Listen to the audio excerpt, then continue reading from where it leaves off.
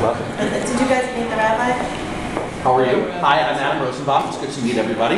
Are, is everybody here who needs to be here? Yes. Okay, fantastic. So anyway, so uh, Mazel Tov, and we're very excited, of course, to uh, be here at this very, of course, special day for Jordana and Morton. Now, what we're going to be doing a couple of different things over these uh, next few minutes. Um, first of all, we have to harken back to a tradition of our ancestors. As you may recall from the book of Genesis, that our uh, ancestor Jacob had met the woman of his dreams, Rachel.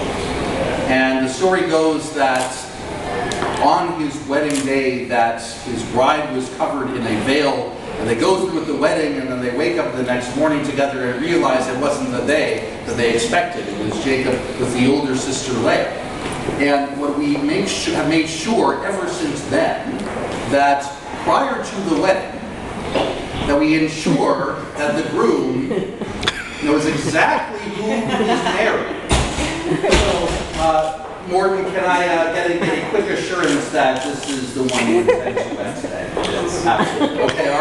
Good, good answer, and what I would have expected. So what we do uh, at this point, we're going to do uh, three different things, and if we could uh, start, if you have a civil document, we uh, sign that. We're going to start with the least romantic bit uh, to do the civil. Chelsea? She said she was gonna hold it until we need her. Okay, that's Chelsea fine. is the way, the. Wedding- so- wedding